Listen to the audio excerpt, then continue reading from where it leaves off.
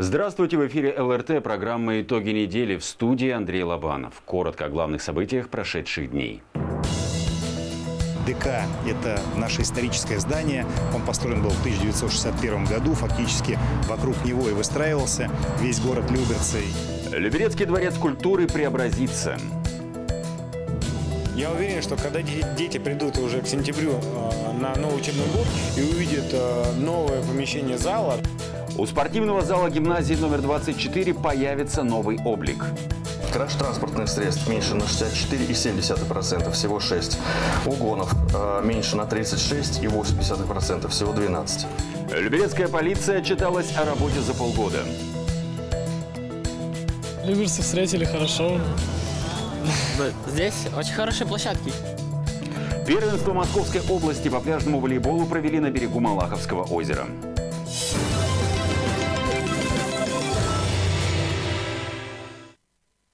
А теперь подробнее об этих и других событиях. Лето – жаркая пора для всех коммунальных служб. Практически сразу, как завершается очередной отопительный сезон, ресурсники начинают готовиться к следующему. А сотрудники Люберецкой теплосети и вовсе устроили самоэкзамен, провели учения по отработке действий при внештатных ситуациях.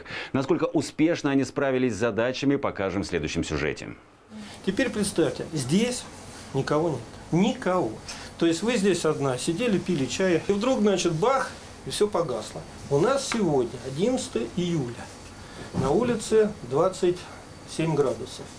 По тренировочным занятиям у нас сегодня 11 февраля 2025 года на улице минус 18,5. Одна из тем тренировочного занятия – отключение электроэнергии. Котельная полностью обесточена. Задача диспетчера – оперативно среагировать на внештатную ситуацию и вовремя оповестить аварийные службы. Электроэнергия отключена и на котлах, и на освещении. Да, ВДС сообщила, сообщила. Нет еще. Все, все, перезваниваю. Из-за отключения электроэнергии в щитовой котельной задымление. На место происшествия оперативно приезжают добровольные пожарные дружины Люберецкой теплосети. Параллельно идет отработка действий еще одной внештатной ситуации – розжига котла. Я хочу отметить э, высокий профессионализм э, Люберецкой теплосети, где априори э, и сотрудники, и руководство на достаточно высоком уровне не первый год работают, и поэтому здесь все достаточно достаточно э, хорошо продумано и э, хорошо организовано. И э, добровольная пожарная дружина, и электрики достаточно оперативно приехали, знают свое дело, быстро делают. Поэтому можно поставить только позитивную и хорошую оценку. Учения, тренировочные занятия прошли успешно. Есть определенные замечания, но замечания это только с моей стороны, как главного инженера. Чисто скажем, такие мелкие помарки. Это и есть главная цель таких тренировочных занятий – выявить недочеты и провести работу над ошибками, чтобы в реальной ситуации не допустить их. На сегодняшний день к отопительному сезону готовы 44 котельные городского округа, что составляет почти 60% от их общего количества. Луиза Игиазарян, Петр Пономаренко, телеканал ЛРТ. В Люберцах приступили к долгожданному ремонту Дворца культуры. Как преобразится историческое здание и какие работы будут выполнены внутри ДК в летний период, узнали мои коллеги.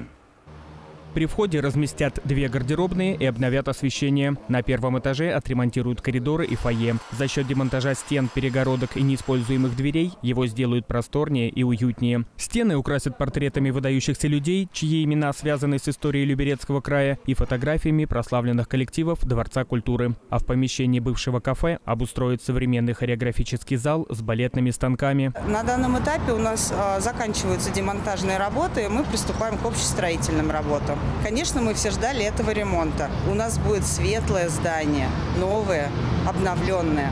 А наши дети с удовольствием будут сюда приходить а, и наслаждаться новизной. Работы кипят и на цокольном этаже. Здесь выполнят перепланировку туалетных комнат, заменят сантехнику, приведут в порядок технические помещения. Обновят и фасадные входные группы. Ход работ проверил глава округа Владимир Волков. ДК – это наше историческое здание. Он построен был в 1961 году. Фактически вокруг него и выстраивался весь город Люберцы. И, конечно, приходит время, когда нужно обновлять э, свои основные фонды. Самое главное, что в летний период э, проходит ремонт, и он не затронет учебный процесс. Наш Дом культуры будет выглядеть абсолютно по-другому. Современно, с учетом э, тех исторических э, ценностей, которые создавались, когда он строился. К концу лета ремонт будет завершен. И уже в сентябре обновленный Дворец культуры откроет двери для посетителей.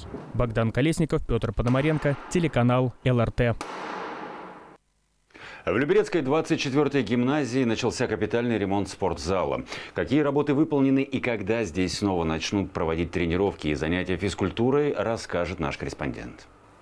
Первых учеников эта школа приняла в 1961 году. Население Люберец росло, и в начале 90-х к зданию сделали пристройку с учебными классами и спортивным залом. За 33 года такой ремонт проводят впервые. В этом году мы наконец-то дождались муниципального финансирования. С 1 июля приступили ребята к работе. Капитальный ремонт спортивного зала. Полностью перекрыли полы, полностью переделали стены. Рабочие заменили систему отопления и постелили на пол фанеру. Сверху уложат спортивный линолеум. Такое амортизированное покрытие поглощает удары и смягчает падение. Также в зале заменят светильники, установят новые баскетбольные кольца, ворота и волейбольные сетки. Я уверен, что когда дети придут уже к сентябрю э, на новый учебный год и увидят э, новое помещение зала, они будут совершенно рады и рады заниматься, и здесь будет совсем другая приятная атмосфера. Естественно, будет э, больше спортивных и улучшенных результатов, и мы приложим максимум усилия уже в новом зале. Ремонт спортивного зала в 24-й гимназии завершат к концу июля. Богдан Колесников, Петр Пономаренко, телеканал ЛРТ. Люберецкий округ посетили молодые ученые из Тимирязевской сельскохозяйственной академии. Вместе с замминистра экологии Московской области Вадимом Воронцовым они посетили бывший полигон твердых бытовых отходов Тарбеева. Подробнее в сюжете Богдана Колесникова. Площадь полигона 25 гектаров. Большую часть законсервировали еще в 2013-м. Отходы утрамбовали, присыпали пятиметровым слоем грунта и установили систему дегазации. Чтобы собрать биологический газ из тела полигона, на различной глубине проложили трубы для передачи на эту станцию. И чем выгодно она отличается, здесь есть система охлаждения газа, то есть его подготовки перед э, фильтрацией, сжиганием. Вредная примесь, которая случайно вдруг не осела в охладителе или ее не уловил фильтр, она непосредственно сгорает сама. А, то есть э, выбросов абсолютно не происходит. Э, сжигание идет э, даже чище, чем из газовой горелки дома. Мониторинг качества воздуха проводится каждый час. В онлайн-режиме данные передаются в Министерство экологии. По просьбам жителей анализ воздуха проводит и передвижная экологическая лаборатория. Ее устанавливают в нескольких метрах от въезда на полигон. Провели замер по 32 показателям, таким как угарный газ, сернистые соединения, азотистые соединения, озон, э, предельные углеводороды, ароматические соединения – нигде пока э, превышений не было выявлено.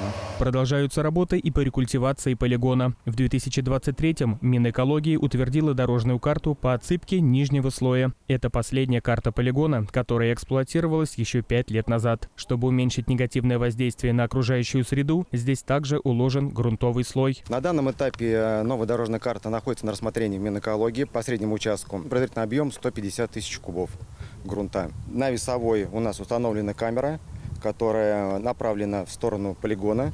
Любой желающий может по ссылке, которая находится на баннере, э, который висит в начале полигона, может зайти и посмотреть в реальном времени, какие работы производятся на полигоне. Через контрольно-пропускной пункт завозят только вторичный щебень и чистый грунт. Для отсыпки последнего участка площадью более 6 гектаров. Рядом с полигоном перерабатывают строительные отходы. На въезде на площадку каждый самосвал также фиксирует видеокамеры. В рамках работы летней школы Тимирязевской сельскохозяйственной академии мы с коллегами приехали а, изучить работу комплекса по переработке строительных отходов, посетили и старые закрытые карты, убедились убедились, что действительно твердые коммунальные отходы на территорию полигона не поступают. Тот автотранспорт грузовой, который заезжает, привозит исключительно строительные отходы. Полигон твердых бытовых отходов в Торбееве был открыт 30 лет назад. В 2021 его деятельность полностью прекращена. Богдан Колесников, Денис Заугольников, телеканал ЛРТ.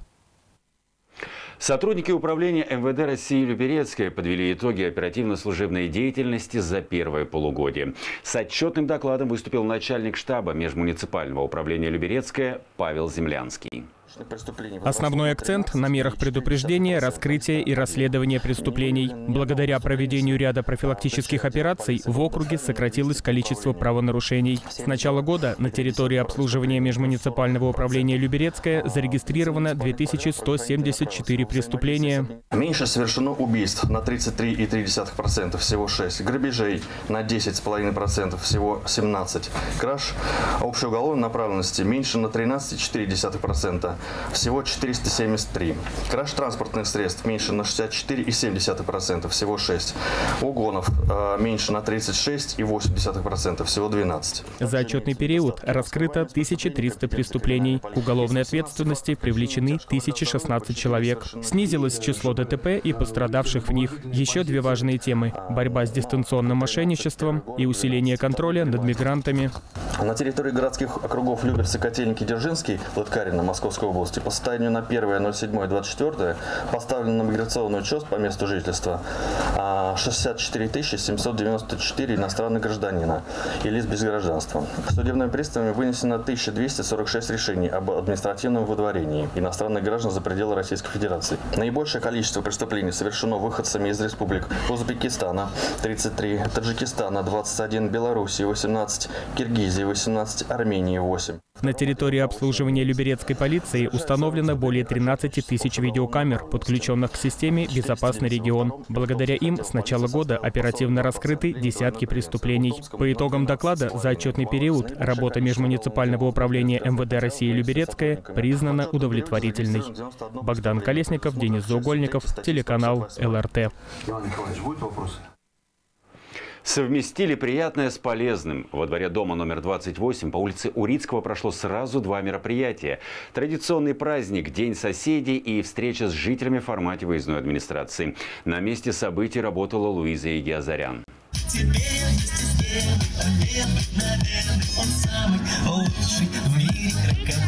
Так шумно и весело во дворе этого дома еще не было. Музыкальная программа, анимация для детей, творческие мастер-классы, настольные игры и сладкие угощения на одной площадке. Праздник для жителей устроили депутаты третьего избирательного округа совместно с администрацией и управляющей компанией ЛГЖТ. Здесь э, вот за июнь-май месяц были произведены определенные действия по благоустройству территории. Конечно, хотелось бы э, услышать обратную связь и послушать, что понравилось, не понравилось, что, может быть, стоит дополнить в данном а, дворе. Ой, замечательно, все очень дружелюбно, весело, и мороженое дают, и пироги. Замечательно, всем нравится. Вон дети как замечательно танцуют. Пока дети веселятся и танцуют, взрослые заняты делами насущными. Чуть дальше от места проведения праздника работает выездная администрация. У нас в Нурицкой школу построили. Да. Вот. Она будет платной? Нет, или... она бесплатная. Бесплатная Абсолютно. учеба будет. Это муниципальная школа. Ага. Никакая плата не берется.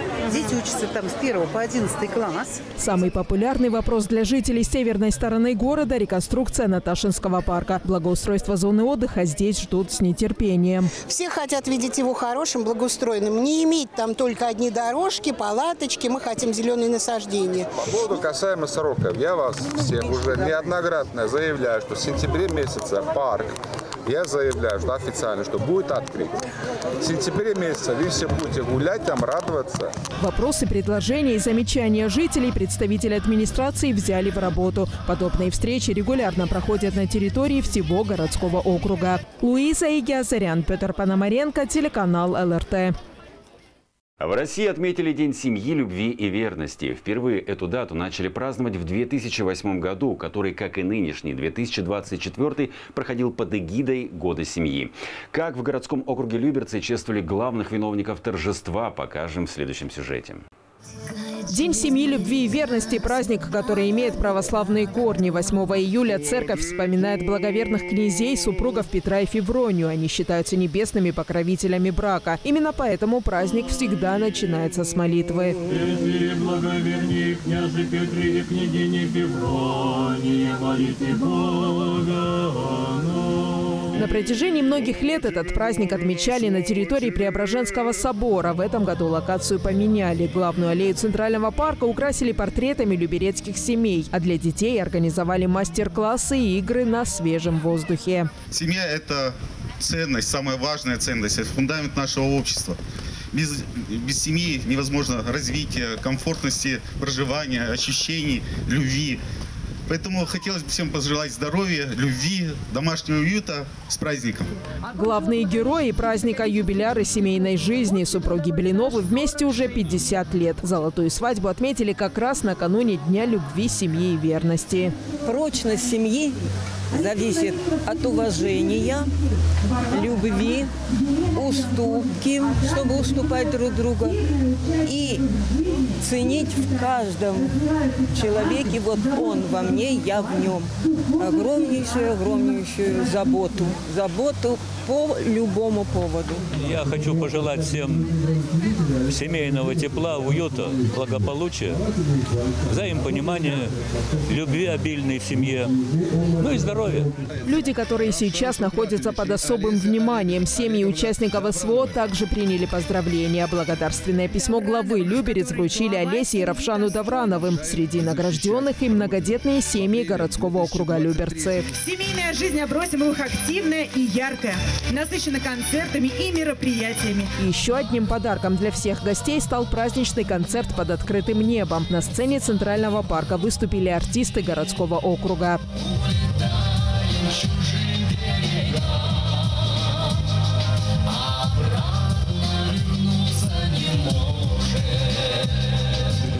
Луиза Игиазарян, Денис Заугольников, телеканал ЛРТ. Рядом всегда были ну и в продолжение темы праздничный концерт, посвященный Дню семьи, любви и верности, прошел во Дворце спорта «Триумф». Участниками мероприятия стали жены и дети военнослужащих, которые сейчас находятся в зоне специальной военной операции. На празднике работала съемочная группа нашего телеканала.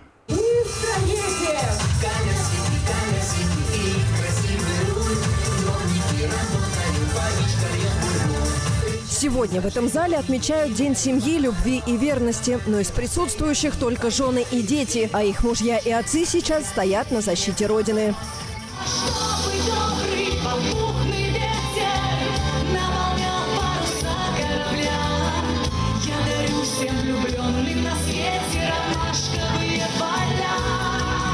Огромное спасибо за такое замечательное мероприятие. И детям приятно, и взрослым приятно. И, как я называю, немножко сменить картинку. Для девчонок немножко расслабиться, чтобы детишки здесь побегали, потанцевали. С СВО мы связаны напрямую, так как наш папа в 22 году ушел на фронт защищать нашу родину, защищать нашу семью. Поэтому для нас это очень теплый праздник, семейный праздник. Папа наш, слава богу, дома, он уже ветеран. А вот этот праздник, он все-таки больше для тех жен, для тех детей, которые ждут своих отцов, ждут своих мужей с любовью, с верой, с победой домой. Мам, я быстренько. Для самых маленьких подготовили сладкие угощения и мастер-классы. Каждую поделку они выполняли с любовью и трепетом, ведь потом ее можно будет отправить папе. Я раскрашиваю футболку, делаю ну, одуванчик на ней. Папа, ну, он сейчас работает ну, э, в другом городе, э, на стройке, где бы, ну, была война. Он с 6 сентября, но приезжал. Когда он может, я с ним переписываюсь, но так очень скучаю. Водный угощаю. Хороший праздник. Я сегодня пришла на праздник с мамой.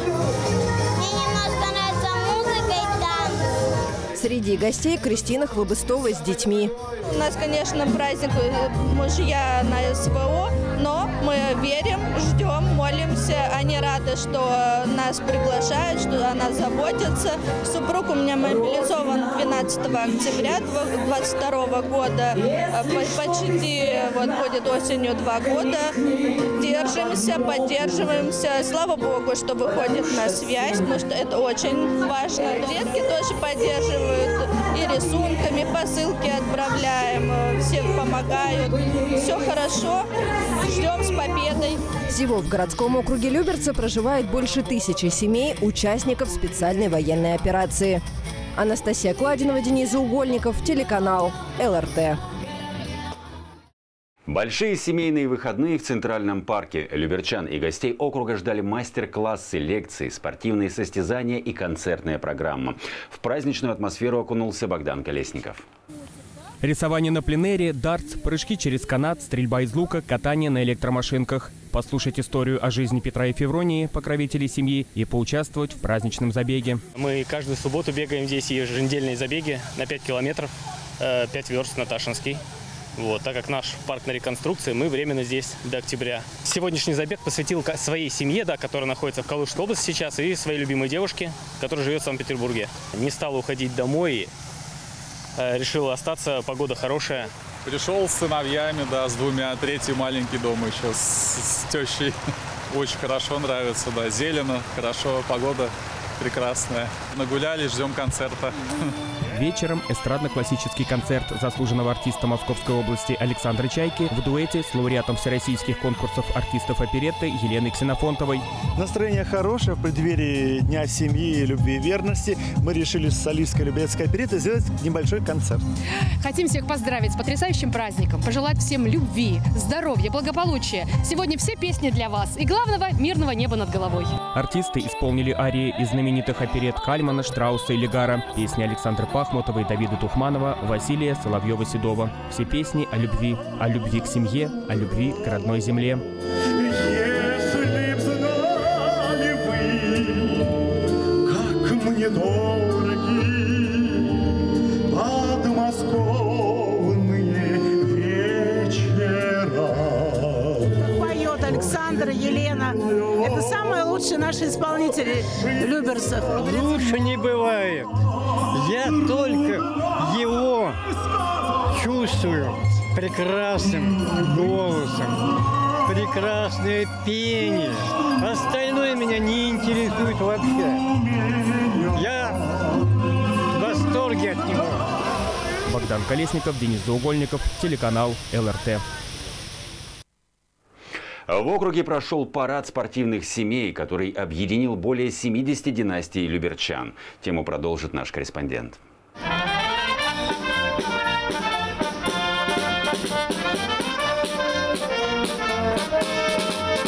Парад сплотил несколько поколений люберчан. В одном строю чеканили шаг чемпионы мира и России, члены сборных команд Московской области, мастера спорта, юные воспитанники секций. Сегодня начальная точка, точка отчета, год семьи, который заявил наш президент Владимир Владимирович Путин. И мы будем смотреть, как ежегодно нас становится больше. Больше спортивных, веселых семей. Семья – это основа всего, что есть у нас. Я всех вас поздравляю с этим прекрасным праздником. В Люберцах активно развиваются более 70 видов спорта. Торжественный парад, посвященный Дню семьи, объединил спортивные династии от всех федераций. Я занимаюсь спортивной аэробикой, занимайтесь все спортом. Сегодня я пришла на спортивный праздник с мамой и с братом. Мне было весело. Младший занимается футболом в театре школе, стадион Труд. Ну и, в принципе, мы все спортивные ребята. Поздравляю всех с праздником, да.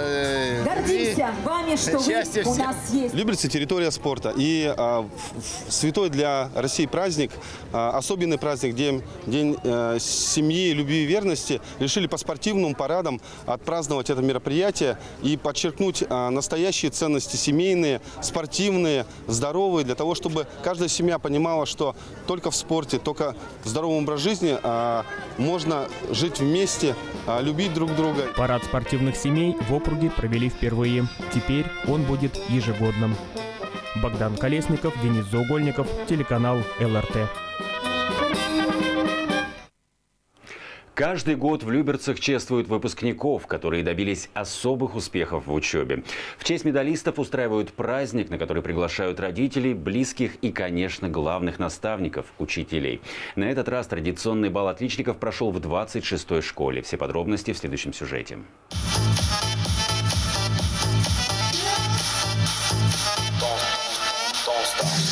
Праздничная сцена, красная дорожка и первые места в зрительном зале. Сегодня они в очередной раз главные герои торжества. Умников и умниц городского округа уже поздравили в своих школах на выпускных вечерах. Теперь их всех собрали вместе, чтобы вручить наивысшую награду за многолетний плодотворный труд.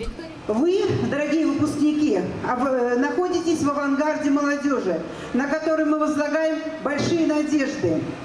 Вы – золотой фонд люберецкого образования – Надеюсь, что вы станете настоящими тружениками, истинными патриотами, которые будут прославлять нашу Россию. Каждому из вас желаю успеха, удачи, пусть ваши мечты сбываются. Вы только в начале пути. Перед вами открыты все дороги, потому что вы научились главному – работать, работать и работать, получать знания. Учиться – это самый серьезный, самый сложный труд. Вы этому научились, Поэтому у вас все получится. Сначала на праздничную сцену пригласили девушек и юношей, которым удалось набрать максимальное количество баллов на ЕГЭ. В этом году в Люберцах 19 100-бальников. Выпускница лицея номер 4 Анна Никитина показала наивысший результат сразу по двум предметам. Ей также вручается именной сертификат на сумму 30 тысяч рублей. Стобалльники по очереди выходили на сцену с родителями, а медалисты шли получать свою главную награду вместе с директором школы. В этом году в копилке люберецкого образования 242 медали. Вначале было сложно, а потом в 10-11 классе как-то полегче было. То есть вначале было сложно, а потом как-то все само пошло. Дисциплин, наверное, нужно побольше над собой работать и развиваться с каждым днем. Очень волнительно, очень рада за сына. Очень-очень молодец. Я всегда уверена в детях, поэтому даже не сомневалась.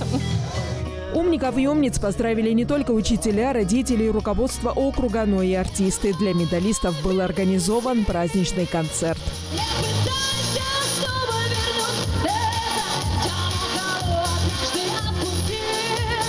Луиза Игиасарян, Петр Пономаренко, телеканал ЛРТ. Житель деревни Марусина, десятилетний Владислав Афицин, получил новый велосипед взамен украденного.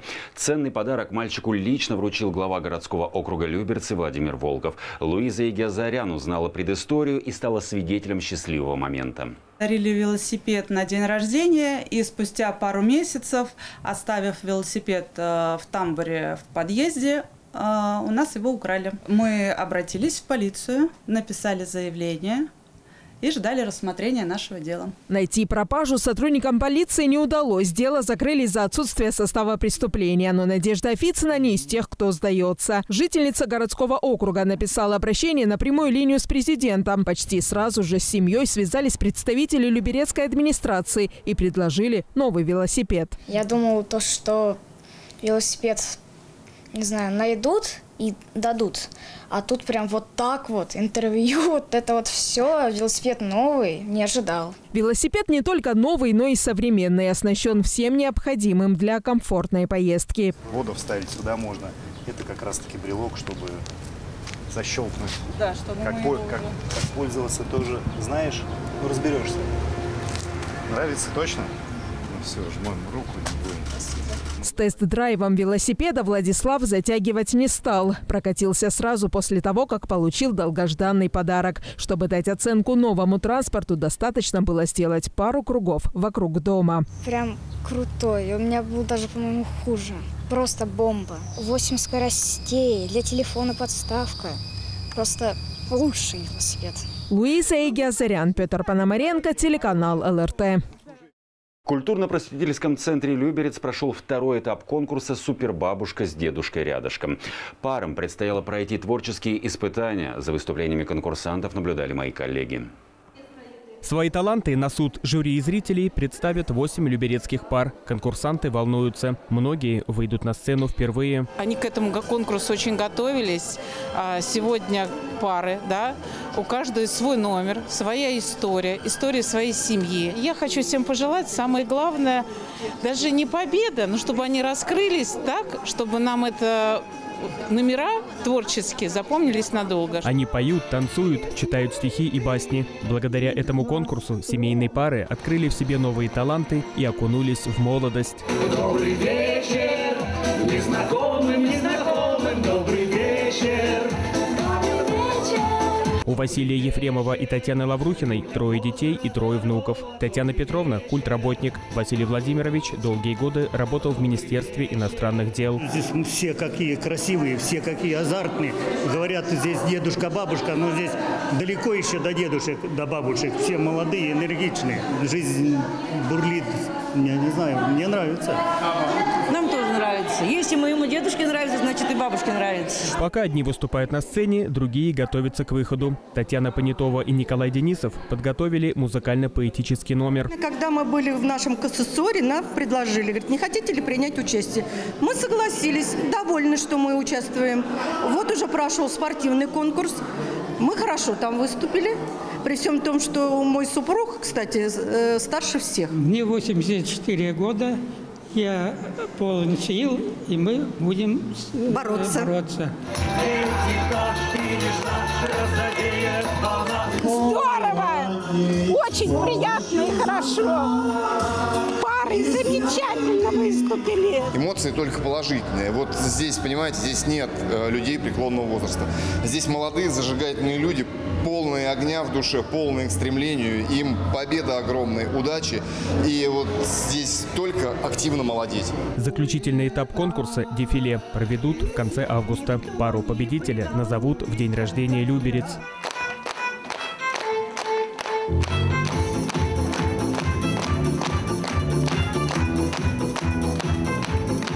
Богдан Колесников, Денис Заугольников, телеканал ЛРТ.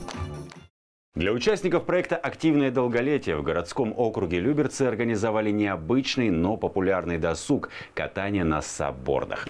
Как прошло первое занятие на Кореневском карьере, узнали мои коллеги. Это жаркое лето представители серебряного возраста проводят весело, используя для здоровья. Сегодня по плану водные процедуры, но в их распоряжении не бассейн, а целый карьер. С самого утра группа собралась, чтобы освоить новый вид спорта – сапсерфинг. Сегодня у нас организовано мероприятие по активному долголетию. Губернатор Московской области Андреем Юрьевичем Воробьевым был запущен проект по саббордам для активного долголетия. В прошлом году также это мероприятие у нас было. В этом году это уже повторно. И наши долголеты очень довольны, им очень нравится кататься на сапах. Они такие очень заряженные, выходят жизнерадостные, они у нас очень спортивные. Для занятий сапсерфингом нужны доска, весло и спасательный жилет. На воде сапы устойчивы, безопасны и просты в использовании. Такой вид спорта развивает баланс и тренирует вестибулярный аппарат. Мне очень понравилось. Сапы развивают баланс, мышечную активность.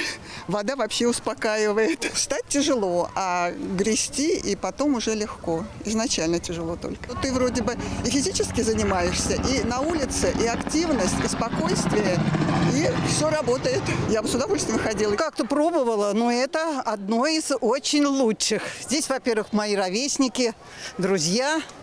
Здесь совсем другая обстановка. За мной следят, смотрят. Самое сложное, мне кажется, это встать и слезть.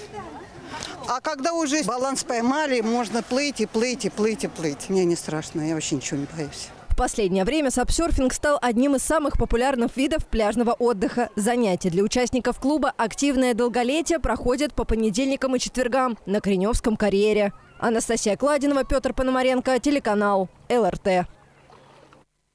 На берегу Малаховского озера прошел третий этап первенства Московской области по пляжному волейболу среди спортсменов до 19 лет. За выход в полуфинал боролись 40 команд из 15 городских округов Подмосковья. Подробнее в сюжете Богдана Колесникова.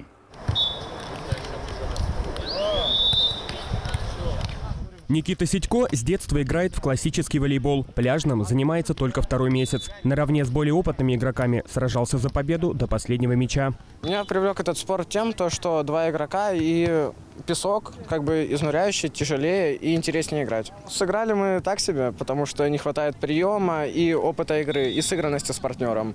Поэтому мы проиграли, к сожалению. Будем оттачивать уровень, больше тренироваться, в следующий раз выиграем. Соревнования по пляжному волейболу такого уровня в округе проводят впервые. Спортивная база и условия для проведения регионального турнира гостям понравилось. Люберцы встретили хорошо. Здесь очень хорошие площадки, их особенно много и быстро идет игра. Мы прошли уже два этапа, сейчас будем играть третий этап за выход в полуфинал. Настрой боевой, мы готовы побеждать. Побороться за выход в финал готовы все участники. И для этого у них все есть. Спортивная подготовка, командный дух и умение слышать наставления тренера.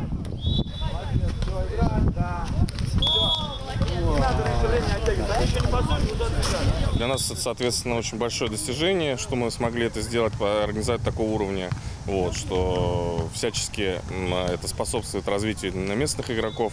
Вот. Но в целом мы рады, конечно, проводить такое мероприятие здесь. У нас э, от городского округа участвует порядка шести пар.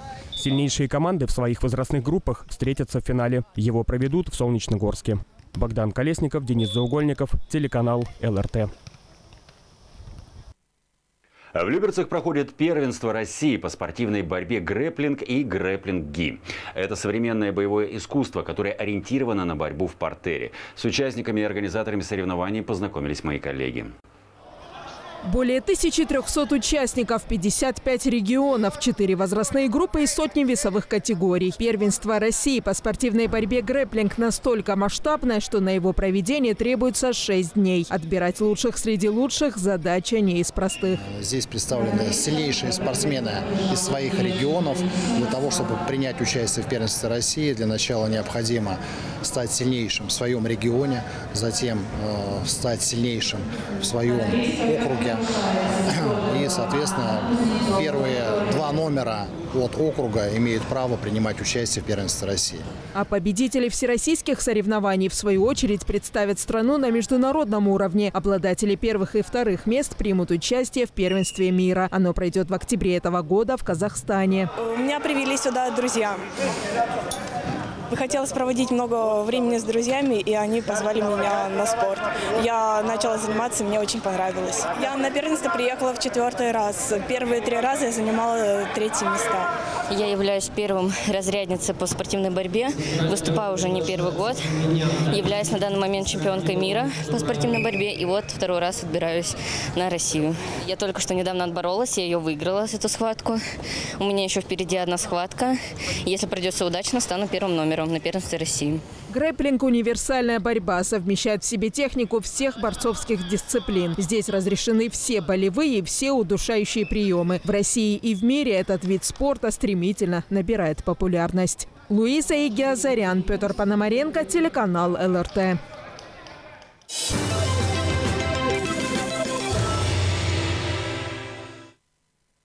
А на этом выпуск завершен. Еще больше интересных новостей ищите в наших социальных сетях и, конечно же, на нашем сайте lrt.tv. До свидания.